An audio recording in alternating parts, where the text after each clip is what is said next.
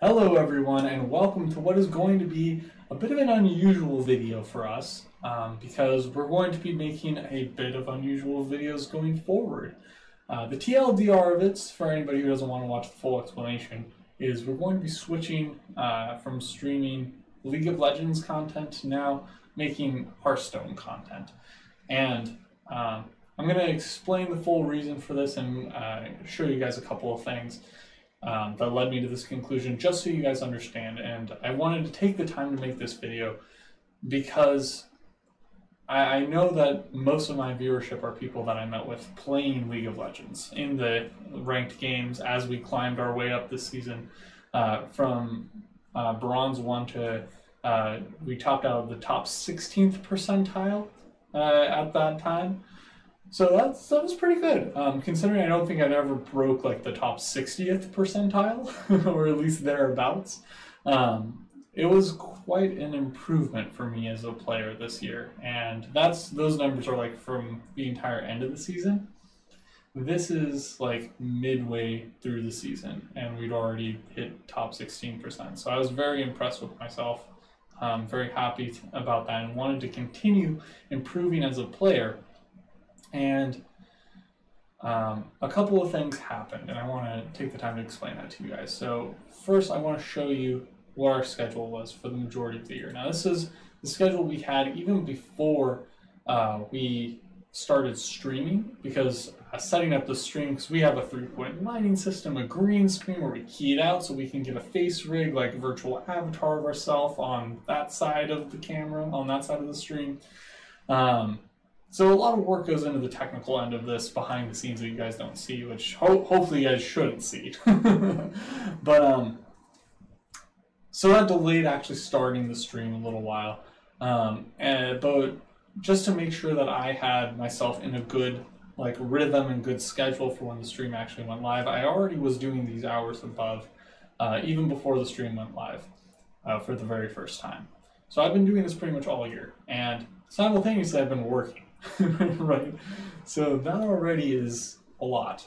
Um, and, you know, it doesn't always work out to where I can maintain these hours, eight days or eight hours a day, four days a week of just playing the game. Also, then edit that video, which I'm not like a professional video editor. I'm learning this from scratch this year.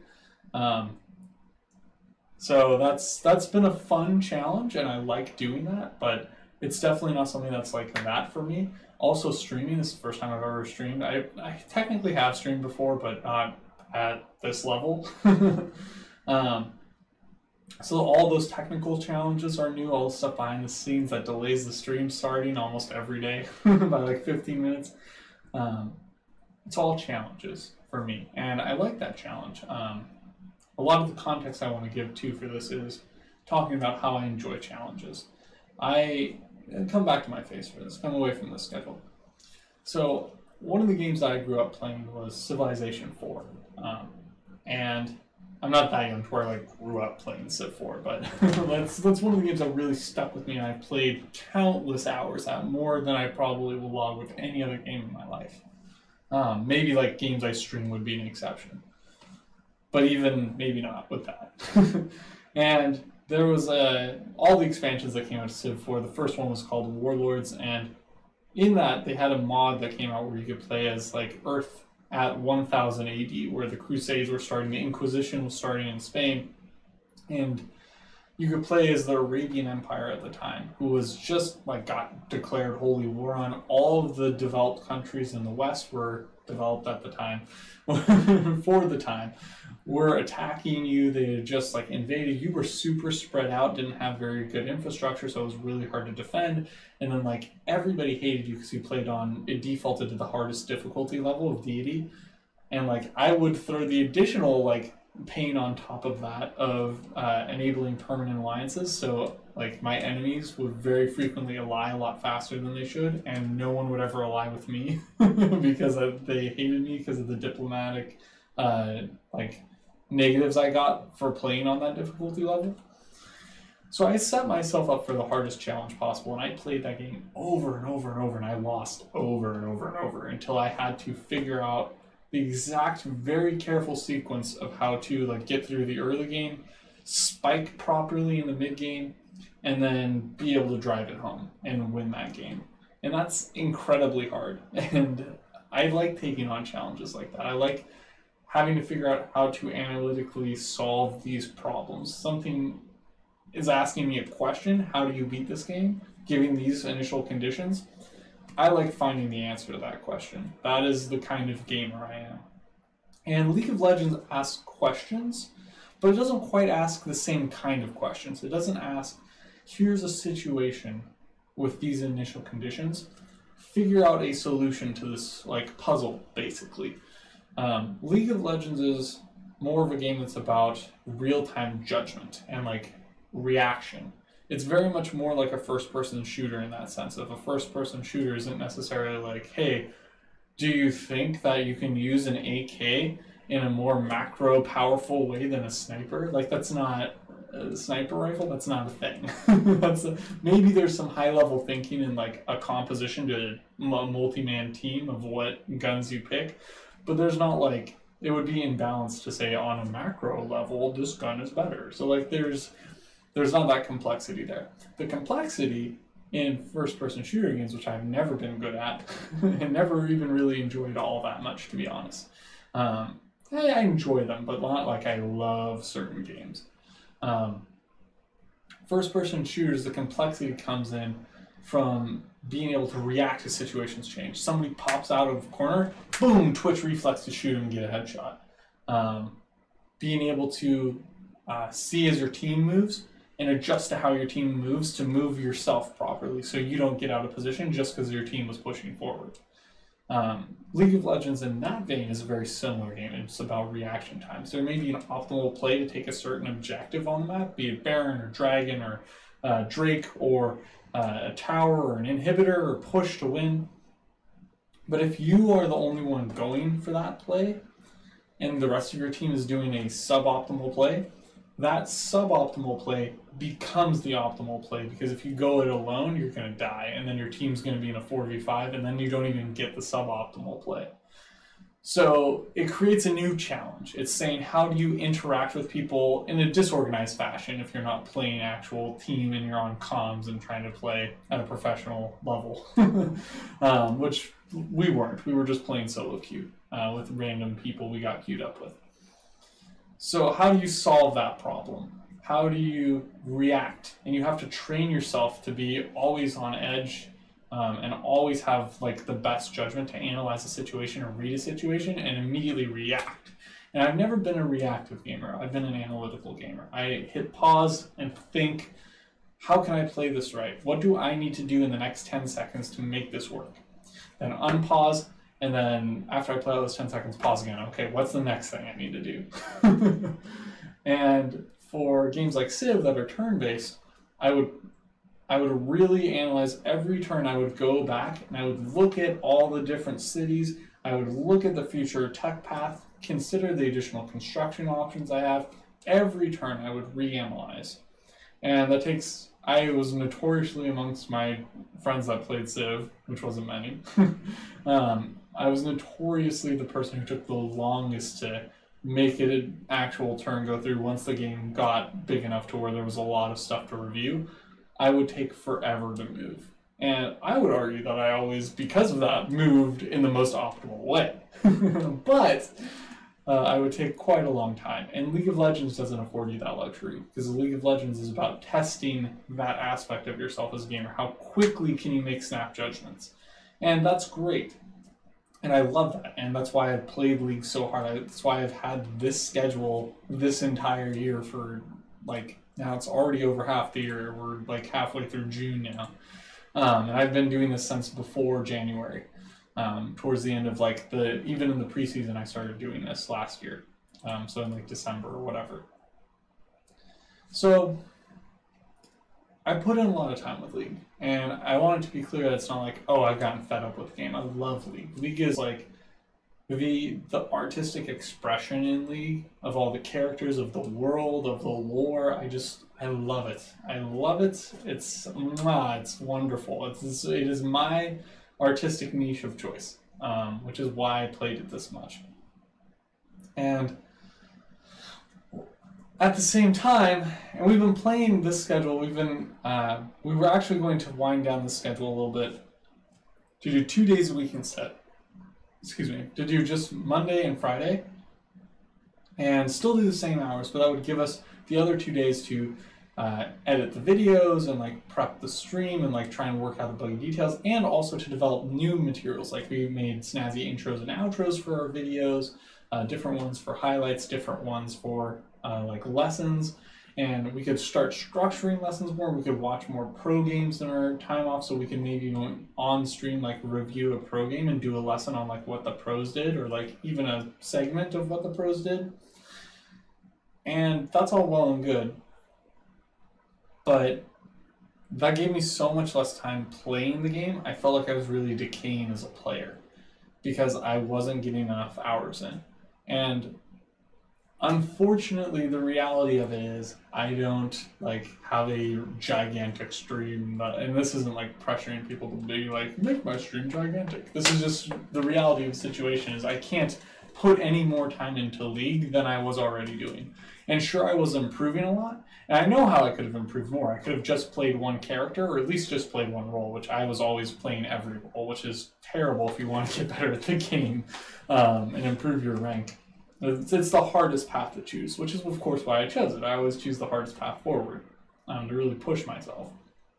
Um, and once I picked one character and played one character and one role a lot and got really good at that character and then felt like I was stuck, then I could get like a coach, um, a coaching lesson from uh, somebody who's in like Masters or Challenger, or at least High Diamond and actually pay for a coaching session and figure out okay what are the elements i need to focus on? What do i need to do better? How do i need to train my thinking to change to improve at the game?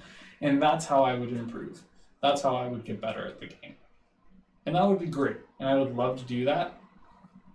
But at the same time i want to make sure that i'm producing good content. Because something that i didn't initially expect coming in um, was how much I was doing this to just make the content as well. It's not just I wanted an excuse to play League a whole bunch, which of course was is nice. I love playing League. An excuse I can get to hop on League, I will take. Um, that is a deal I will take, to quote Tahm Kench. Um, but at the same time, if it's it, I have discovered that I enjoy making the content a lot. And one, if comparatively speaking, even though I maxed out at my peak at league at the top 16th percentile, even though I think that's pretty decent, league is hyper competitive, so people will poo poo that. But I think that's pretty good, especially considering where I was coming from before. Uh, I think that speaks a lot of my potential to go even higher. I really liked making the content a lot. And if I if I can't make the content optimal optimally, like that's the thing that bugs me. It's not like, oh, I'm not climbing at league anymore. I'm not improving my rank. What bugs me is like I feel like I'm not making applicable content because like I have such a high like gap in skill between people who like I are also streamers I know that I watch. Um, and it wasn't something that was that big of a deal until it really hit me this month where I was just I always screw around on Hearthstone because I play Hearthstone in the background. Um, but because I was winding back the schedule and was focusing more on editing the content and like trying to edit videos together, I had more time to just like play Hearthstone in the background while I was doing stuff on another screen. and I haven't been playing Hearthstone on stream at all, and I've still been working, so like I haven't had time to actually play Hearthstone. Like I've played the game, but not really like played the game, if you know what I mean. And even though I haven't, like, I want to show you guys that currently I'm in the top 1% of Hearthstone players this season. And that's insane to me. I don't know how I could be so much better at Hearthstone than I am at League. And what, again, is bothering me with that is more that if I'm going to put all this time and energy into making a stream that is not just a stream for like, hey, let's have fun and derp around on League of Legends and play like memey things and do fun compositions. If I'm trying to improve myself, not just for the sake of improving myself, but for also building a legacy of content so people watching can also improve their gameplay. Like that's what kind of grabs me and like urges me to stream. Oh, I've had this open for a little while, but you guys saw it. Anyways, that's what grabs me and motivates me to stream. And if I'm at, if I'm not even like seriously playing the game and I'm in the top one percent of players, like why is that? And I think it goes back to what we talked about earlier. What kind of like gamer I am? I am the stop, take a deep breath, analyze, think, pick the strategy that's optimal, and then execute. That's the kind of gamer I am. And I think that Hearthstone, even if I applied this kind of schedule to Hearthstone, I I know I would be way better at Hearthstone than I am now. I, I don't feel like I'm that great of a Hearthstone player right now. Yet again, in the same breath, we we just saw I'm currently in the top one percent of Hearthstone players, and I think that's at least regionally for North America. But I'm pretty sure my league rank was just for North America too. So if I'm making if if one of my main motivations for the stream is the enjoyment of making content that can help people improve at the game because I understand the game at a pretty high level and can help break it down to people who are like newer to the game or um, haven't thought of the game in a certain way before, so they've been struggling at like certain concepts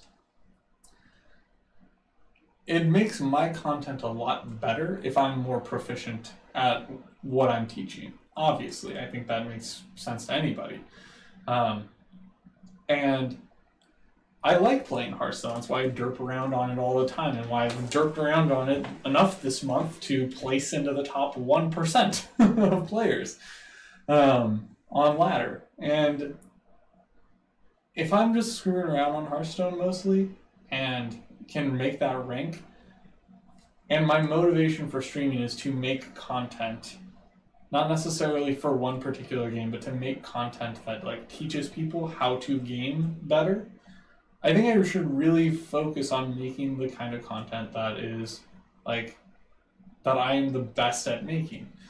Um, which, if I am better at one game, whether it be Hearthstone or League, I should probably make content for the game I'm better at because that will be more useful to more people instead of just hanging out and being like, hey, here's lessons that maybe like I don't know. A, a lot of people could learn from the League of Legends lessons because I'm in the I peaked at the top 16th percent. So that's a lot of people who play League um, beneath me. But nonetheless, it's not it's not anywhere near being a top one percent at League of Legends. But if I am hitting that at Hearthstone, and if I really improve myself at Hearthstone with the same kind of like regimen, I was like doing drills at League of Legends. I was doing the lessons every day where I watched my videos and broke down how I could have played better moment by moment, like hitting that pause button in the replay. Um, and like drawing on screen with my, you guys know my draw tool and everything. So if I put that kind of like analysis and effort into Hearthstone, I think I can be a way better Hearthstone player than I am now. And if I'm already in the top 1%, that means I can actually be somebody who gives, who knows the game at such a high level that they could make really good quality content to teach people how to improve at the game. So that's my thinking. Um, and I don't know if that like sounds like it makes sense to you guys. Um, but I, again, I just wanted to make this video to give you that context because I know that most of um, uh, my viewers are people I met playing League of Legends, and I didn't want people to feel weirded out by like, all you've ever done is League. Why are you not doing League? That's like, I feel almost betrayed that you're doing a different game now. Any sort of weird feelings like that, I just wanted to fully flush out for anyone who's concerned um, or like just confused um, why it is I'm switching from League of Legends to Hearthstone uh, as my focus for the game I'm streaming. It's not all because I'm mad at Riot or like don't like League anymore or just like gave up on League is too hard. Like I love the challenge League provides, and I'll probably still stream myself playing League off and on again because I just love that game so much. Um, however, again, since I I think the aspect that I love most about streaming is being able to try and teach the game as I play it. I think Hearthstone both has a better environment for that because I can stop and explain what I'm doing move by move and not have to play in real time as I explain in real time. Um, which also means I neglect chat and it's hard to like interact with you guys that way. But also, I just think I can be better at Hearthstone and thus be better at teaching people Hearthstone. So I think we're going to switch over and be a Hearthstone show instead. And uh, we're probably going to have to take some uh, short hiatus away uh, just to revamp all of our content because, like, all of our, like, even our, um, like, show over, like, breaks so I can walk my dog, um, to be right back. All this stuff is like League of Legends themed. Those are all like characters we can play in League. So I I need to revamp all that stuff to be like Hearthstone themed instead. Um, so we're gonna probably go on a brief hiatus to revamp the stream, get ourselves the right assets made to where we can uh, be a nice little Hearthstone show. And hopefully, you know, I know a lot of people who play League of Legends also play Hearthstone just because they can have Hearthstone open while they're queuing into a game of League, play one game of Hearthstone, and then they'll be in game for League. So hopefully, some of you guys who uh, like started watching the stream because uh, we do League of Legends We'll still hang out. If not, totally understand. Don't feel obligated to keep watching at all. I would understand if somebody, like I said earlier, I don't play.